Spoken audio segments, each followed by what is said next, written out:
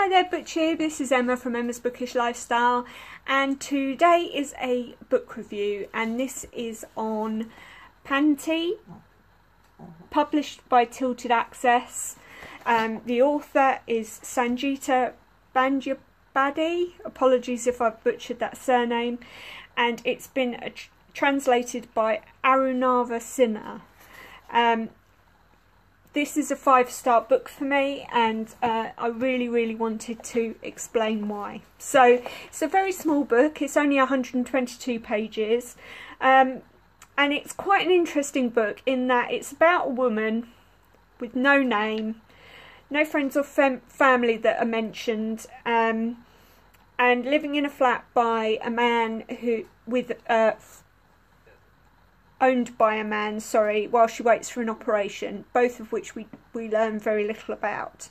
Now, it's based in Calcutta in India um, and was originally published in Bengali, I believe. Um, and the story is told in quite a pro quite a poetic prose, excuse me, a bit tongue-tied today, um, with the chapters sort of composed in a unique sequence in that they don't go numerically. One two three four. You might start with 29 then skip to 17 then skip to 5 then skip to 2 then skip to 28 um, but each unique sequence gives us a snapshot of a moment of either visceral beauty or um, tenderness and um, her sexu sexual individuality.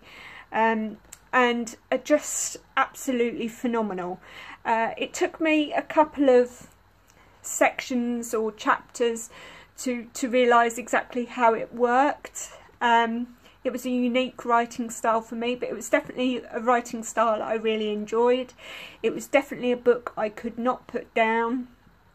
Um, I found extremely in, um, interesting and in equal measure because it's a small story it it really absorbed you you know you really couldn't put it down. You really felt like you were part of the atmosphere and you could feel the heat of Calcutta and and the degradation that she could see outside her window. And um, it often kind of made you feel a bit disorientated and kind of disarmed you almost a little bit. Um, but ultimately it was a phenomenal book. I can't stress that enough. I think I've said phenomenal about 12 times.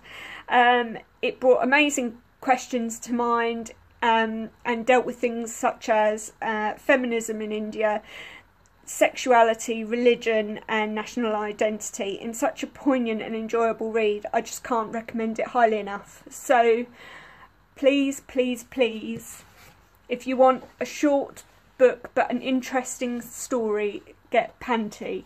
This is a Tilted Axis book.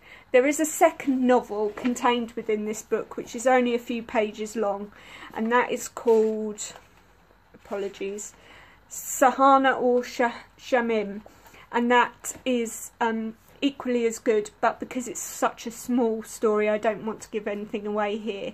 So, Panty, fantastic book, highly recommend it.